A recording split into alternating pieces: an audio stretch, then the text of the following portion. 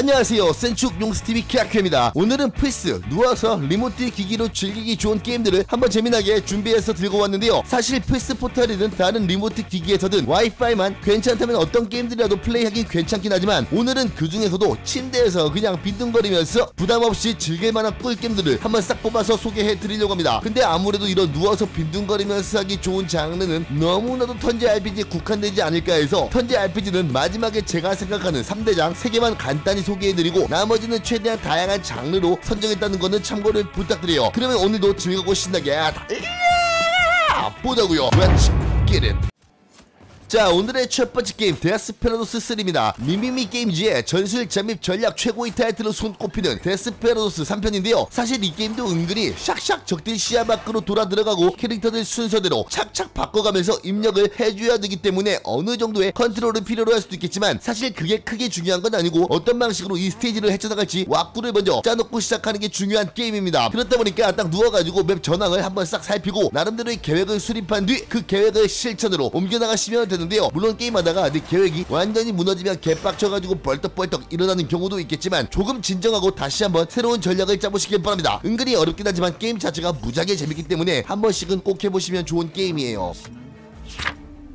다음 게임 리틀 나이트메어 1 and 2입니다. 공포 퍼즐 호러 어드벤처 게임으로 여러분은 거의 횡스크롤로 꾸며진 으스스한 map을 누비며 각 map마다 필요한 퍼즐들을 해결하기도 때로는 적들과 싸우기도 때로는 도망다니기도 하면서 이야기를 펼쳐나가시게 되는데요. 퍼즐 난이도가 그렇게 어렵진 않고 호러 게임이지만 그렇게까지 무섭진 않아서 한밤중에 그냥 침대에서 플레이하기에도 큰 부담은 없었습니다. 또한 때로는 쫓아오는 괴물놈들 피해서 달려나가야 되는 구간들에서 살짝 컨트롤도 필요하긴 한데 뭐 그 정도 싹 누워서 Let's get it을 타는 것에 전혀 문제가 없기에 걱정 말고 즐겨 즐겨보시는 것도 좋을 것 같아요. 대사 하나 없지만 스토리가 굉장히 훌륭하다고 느꼈던 정말 갓겜이라서 강추드립니다. 다음은 드래곤 퀘스트 빌더즈 2입니다. 전형적인 sandbox형 RPG로 이런 장르야말로 정말 누워서 remote 기기로 즐기기 딱 좋은데요. 근데 이런 장르는 누워서 하긴 좋지만 딱 한 가지 취향적인 부분에서 엄청나게 호불호가 많이 갈리기도 합니다. 왜냐면 sandbox 게임들은 너무 open world에다가 던져놓고 너가 알아서 창의력 발휘해서 이것저것 하면서 스스로의 게임을 만들어봐라 뭐 이런 느낌인데 사실 저는 그게 좀 적응이 힘들더라고요. 그래도 다행인 건 드퀘빌 2는 나름대로 스토리텔링도 있고 어떤 재료를 수집하고 무엇을 만들어야 하는지 스토리 중에는 다 가이드 를 해주기 때문에 게임에 녹아들기가 좋았습니다. 물론 전투도 있는데 큰 부담되는 수준은 아니니까 전혀 걱정하실 필요가 없어요. 아 참고로 sandbox 게임 좋아하시는 분들은 이 게임 엔딩 본 이후가 진짜 시작이라고 하는데 저는 그냥 스토리 모드만 그래도 충분히 했습니다. 다음은 MLB 더쇼 24입니다. 사실 FIFA나 위닝 같은 축구 게임 넣을까 생각하다가 그건 아무래도 드리블하고 수비하고 이렇게 하다 보면 손이 많이 가고 컨트롤도 꽤나 필요한 게임이고 무엇보다 게임마다 빡치면 그냥 패드 던져버리는 것도 부지기수라서 축구 게임은 제외를 했어요. 그래도 나름대로 MLB는 축구에 비해서 약간 정적으로 플레이할 수가 있기에 누워서 플레이하기에도 전혀 문제가 없습니다. 특히나 스위치로도 재미나게 했었는데 아무래도 30프레임의 압박에서 좀 불편하다는 생각이 많이 들더군요. 근데 remote 기기로 Let's get it을 타면 침대에서 누워가지고 그대로 60프레임 프레임으로 만루 홈런 날려버릴 수가 있기에 좀 더 재미나게 즐길 수가 있겠습니다.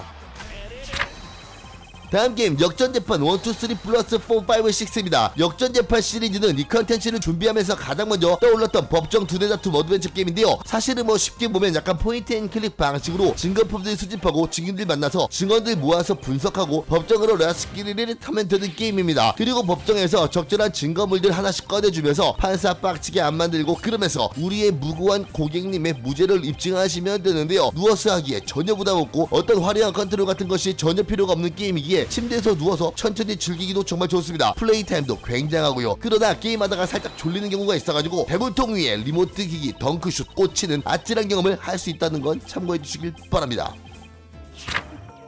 다음 게임은 휴머니티입니다. 어렸을 적에 레밍스라는 게임 해보셨던 분들이라면 이 게임에서 레밍스의 향기를 느낄 수가 있을 건데요. 한 마리의 강아지 친구가 주인공으로 등장하는데 여러분은 그 강아지로 수많은 사람들을 빛의 기둥을 향해서 길을 만들고 그들을 안전하게 도착할 수 있도록 인도하는 퍼즐 어드벤처 게임입니다. 사실 이거 꽤 재밌는데 퍼즐이 상당히 어렵기도 해서 저는 나름대로 고생을 많이 했던 기억이 있군요. 아 VR2 지원 게임이지만 VR2 없이 그냥 패드만 잡고 플레이해도 충분히 재밌는 게임이라서 한 번쯤은 let's get it을 해보시길 바랍니다. 다음 게임 발라트로입니다. 침대에서 잠 못 이루게 하는 장르, 중독성 개쩌는 장르, 바로 카드 deck building인데요. 아쉽게도 슬레이 더 스파이어가 국내 PS 스토어에는 등록되지 않아서 일단 슬더스 빼고 요거 발라트로로 추천드리려고 들고 왔어요. 이거는 24년도 출시 게임인데 포커 베이스로 펼쳐지는 카드 deck building roguelike입니다. one pair부터 시작해서 two pair, 봉, 스트레이트, 플러시, 포카, 스트레이트 플러시, 최종적으로 로얄 스트레이트 플러시까지 각 계급별로 점수가 정해져 있고 중간중간 얻게 되는 조커 카드 그리고 기타 아이템 카드들을 활용해서 각 스테이지마다 정해진 점수를 넘기시면 되는 게임이에요. 이거 도박 게임 아니니까 이 점은 꼭 참고해 주시길 바랍니다. 특히나 어설프긴 하지만 그래도 플스판의 경우에는 한글 자막도 지원해주기에 좀 더 편안하게 즐길 수가 있겠군요. real 갓게임이니까 강력히 추천. 다음은 용과 같이 제로입니다. 사실 액션 게임들은 화려한 컨트롤을 필요로 하는 게임이 많다 보니까 사실 누워서 플레이하기 좀 빡센 경우가 많은데요. 그래도 그나마 제가 직접 해봤을 때 이 정도면 괜찮다 싶은 액션 게임 두 개를 들고 왔습니다. 우선 용과 같이 시리즈는 6편까지는 액션 어드벤처고 7편부터는 턴제 RPG인데 그냥 이건 제로부터 8편까지 다 누워서 하기 꽤, 꽤 괜찮은 게임이라는 점 참고 부탁해요. 어쨌든 용 시리즈는 액션 게임이긴 하지만 그냥 전투 자체가 막 엄청 부담되지 않고 무자비하게 손바쁜 컨트롤을 필요로 하지도 않기 때문에 그래도 나름대로 누워서 플레이하기 하기에 나쁘지 않습니다. 물론 난이도를 올려버린다면 생각보다 빡세지만 그냥 평범하게 플레이한다면 반지 형님 키류의 이야기 속에 자연스럽게 녹아들면서 눈물을 콱콱 쏟아낼 수가 있을 거예요. 다음은 이스 셀세타의 수해입니다. 사실 이스 시리즈도 엄청 많은데 셀세타의 수해를 오늘 선택한 이유는 바로 얼마 전에 제가 누워서 요거 엔딩을 찍었기 때문인데요. 물론 난이도를 hard 이상으로 시작하면 어줍당히 컨트롤하면 개두들겨 맞지만 normal 정도면 그냥 누워서 대충 공격하고 중간중간 스킬 넣어주면서 싸워도 충분히 어렵지 않게 엔딩 찍을 수가 있었습니다. 참고로 일단 이스 셀세타를 오늘 갖고 왔지만 이스 8편이나 10편 그리고 그 외에 나머지 시리즈도 normal 정도라면 큰 부담 없이 누워서 즐길만 할 거예요. 아 근데 오리진은 생각보다 컨트롤이 필요했던 것 같긴 한데 뭐 어쨌든 셀세타는 제가 직접 누워서 엔딩을 봤기에 추천을 드립니다. 그래픽은 좀 고전인데 게임 개재밌어요. 다음 게임은 하데스입니다. roguelike hack and slash 최고 갓게임인 하데스인데요. 사실 하데스는 은근히 컨트롤이 조금은 필요합니다. 특히나 보스전 같은 경우에는 은근히 빡세게 컨트롤하면서 보스들 패턴 파괴하고 그러면서 캐릭터들 강화해 나가는 게 꽤나 중요한 게임이에요. 그러나 이 게임 저는 닌텐도 스위치로 누워서 정말 오랫동안 재밌게 플레이를 했었습니다. 컨트롤 필요한데 생각보다 전투 자체가 꽤 가볍고 speedy하게 진행되다 보니까 누워서 플레이하는 것에도 큰 부담은 없더군요. 그리고 올림푸스 신들 은혜를 어떻게 조합하느냐에 따라서 그 판의 난이도가 갈리기 때문에 사실 컨트롤보다 올림푸스 신들 은혜가 제발 잘 떨어지기를 기도하는 맛이 더 있었던 듯합니다. 아 당연히 roguelike의 특성상 초반부에 상당히 어렵지만 천천히 캐릭터 passive 올리고 다양한 기술들 늘려가면서 계속 반복하다 보면 적응되고 그냥 누워서 공격 버튼만 무작에 누르고 있는 자신을 발견하시게 될 거예요. 다음 게임 유니콘 오버로드입니다. 전략 RPG인데 이거 뭐 턴제라고 봐야 할지 아니면 뭐라고 봐야 할지 살짝 좀 애매한 장르이긴 한데요. 왜냐하면 일반적인 턴제 RPG랑 좀 다르게 각 턴마다 공격을 한다거나 스킬을 쓴다거나 아이템을 쓴다거나 그런 식으로 전투가 진행되는 게 아니라 모든 것이 자동으로 펼쳐지게 됩니다. 그렇게 게임에 큰 컨트롤이 필요하지 않아요. 다만 대신해서 무엇보다 전략적인 플레이가 이 게임의 승리를 좌지우지하게 되는데요. 각자 다양한 직업을 가진 캐릭터들을 하나의 부대로 만들고 그 부대들을 운용하며 그 부대 속에 존재하는 캐릭터들 그 캐릭터들 하나하나의 전투 전투 방식을 전부 설정해 주시게 됩니다. 어떨 때는 어떤 스킬을 써라 또 어떤 적을 먼저 공격해라 이런 식으로 각 캐릭터들별로 매우 디테일하게 지정해주고 그렇게 설정된 값에 따라 전투는 자동으로 진행이 된다 이렇게 보시면 되는데요. 생각보다 어렵긴 한데 꽤나 재밌는 부분이 조합만 잘 짜고 전략을 잘 짰을 때 뭔가 상대적으로 어려운 적들을 이겨낼 수도 있다는 점입니다. 그렇게 싹 누워가지고 자신만의 전략을 펼쳐내고 바닐라웨어 특유의 아름다운 그래픽과 장대한 대서사 속에서 재미나게 게임 즐길 수가 있을 거예요. 호불호가 좀 타는 것 같긴 하지만 취향만 맞는다면 시간 순삭되는 게임입니다. 다음 게임이 삼국지 14입니다. 전략 시뮬레이션 게임으로 사실 삼국지 14편 같은 경우는 그닥 좋지 못한 평가를 받고 있고 거기다가 power-up kit에다가 이것저것 기능을 다 빼버려서 최악이라는 안타까운 평가를 받기도 하는데요. 뭐 그럼에도 삼국지는 삼국지라서 게임 자체의 중독성은 여전히 잘 살아있습니다. 뿐만 아니라 패드 최적화도 꽤 나쁘지 않은 편이라서 누워서 삼국통일의 깔끔한 맛을 맛보기에도 정말 나쁘지 않아요. 아 삼국지 하니까 생각나는데 물론 같은 장르는 아니지만 문명이나 FM 같은 중독성 괜찮은 게임도 누워서 플레이하기 정말 괜찮으니까 이 점도 참고 부탁드립니다.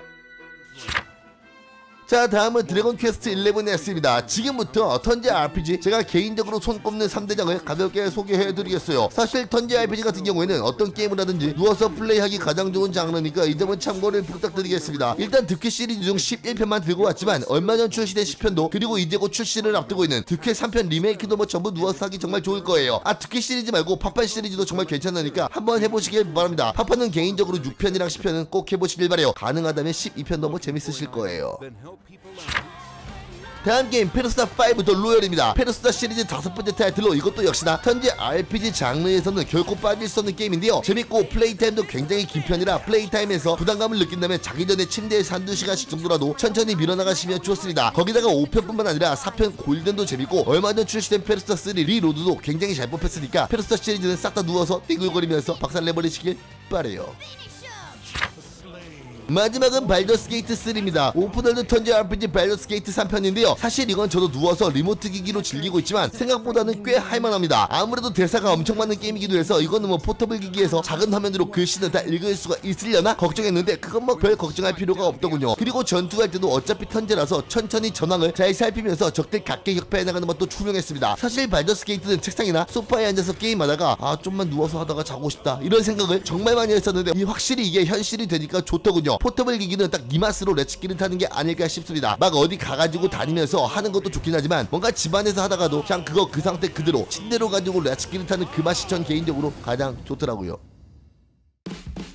이 여러분 오늘은 이렇게 플스 누워서 하기 전혀 부담 없는 게임들을 소개해드렸는데요. 아무래도 이제 포탈이 정발되기도 했고 얼마 전 제가 소개해드렸던 백버너 같은 remote 기기도 많이 활성화가 되어 있다 보니까 플스 게임도 누워서 즐길 수 있는 시대가 온 듯합니다. 물론 누워서 화려한 컨트롤을 뽐내면서 하긴 어렵겠지만 그래도 조금은 손가락에 부담을 내려놓고 천천히 즐겨도 지루하지 않고 재밌나게 즐길 수 있는 게임들 위주로 소개해드렸으니까요. 관심 있다면 한 번씩 해보시길 바래요. 그럼 저는 다음에도 또 신나는 모습으로 찾아오겠습니다. 센축 뿅뿅